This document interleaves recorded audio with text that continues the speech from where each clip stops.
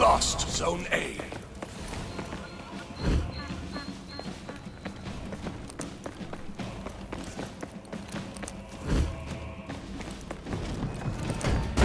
Your team is breaking.